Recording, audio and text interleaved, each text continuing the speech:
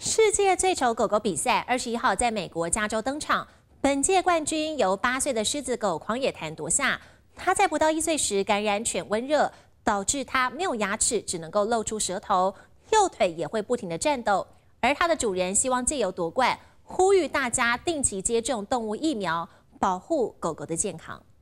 The world's ugliest dog is.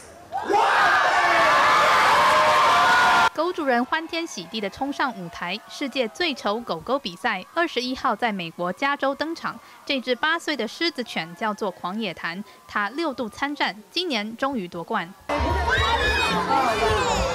民众热烈的欢迎本届冠军，伸长手摸摸它杂乱的毛发。它不到一岁时就感染犬瘟热，通常会留下神经症状的后遗症，导致它没有牙齿，只能露出舌头，右腿也会不停颤抖。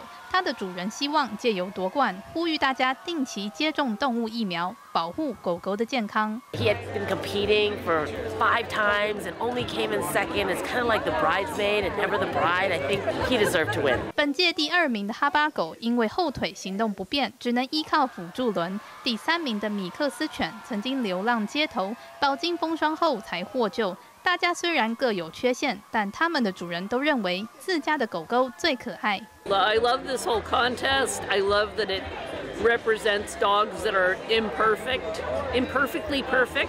世界最丑狗狗比赛有近五十年历史，活动旨在带领民众看见美的不同面相。